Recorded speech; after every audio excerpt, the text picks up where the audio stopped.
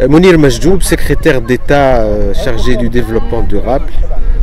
Alors aujourd'hui, euh, nous sommes le 10 août 2014 à Korba, la lagune de Korba, au Cap Ban de la Tunisie, là où on assiste à la première opération de bagage de flamants roses en Tunisie.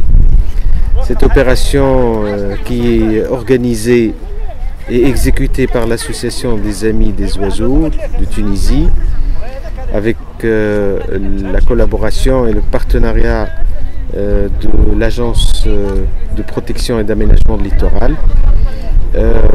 elle a très bien démarré.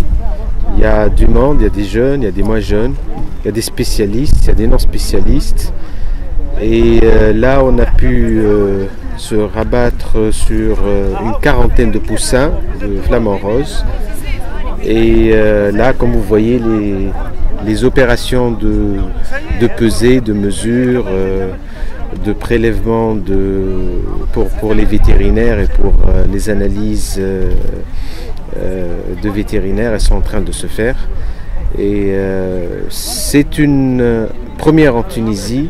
Et j'aimerais à cette occasion euh, féliciter, mais également remercier et encourager l'Association des Amis des Oiseaux de Tunisie et tous euh, ses amis et tous ses euh, partenaires et ses collaborateurs.